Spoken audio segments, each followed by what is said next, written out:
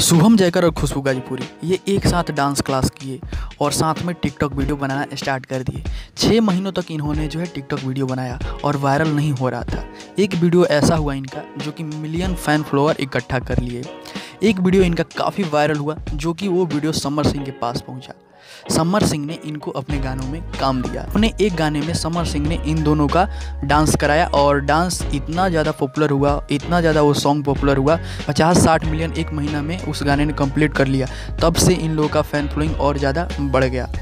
तब से खुशबू गाजीपुरी और शुभम जयकर को काम मिलने लगा और ये महीना के चार से पाँच लाख रुपया अभी कमा लेते हैं, जैसा कि आप जानते हैं। और बात करें ये फ़ोटो की तो ये फ़ोटो जो है और शादी की तो ये फ़ोटो जो है एक सूट का है और ये सूट हो रहा है और समर सिंह के गाने का सूट है और ये जल्द आप लोग को सुनने को मिलेगा, ये देखने को मिलेगा। समर सिंह का गाना और खुशबू गाजीपुरी, शुभम जयकर का डांस वीडियो, जिसमें दुल्हा बने आज नज़र आ रहे हैं शुभम जयकर और खुशबू गाजीपुरी, उनकी दुल्हन। तो आप सब इस गाने को प्यार ज़रूर दीजिएगा। तो आप सब बताएँ कि आप इनके बारे में क्या सोचते हैं। अक्सर वो शादी करना चाहे तो कर सकते हैं मतलब उनका जाति एक नहीं है, पर जैसे शिक्षित लोग हों तो ये हो सकता है मुमकिन है। तो आप सब अपनी राय कमेंट में हमें ज़रूर दें। धन्यवाद।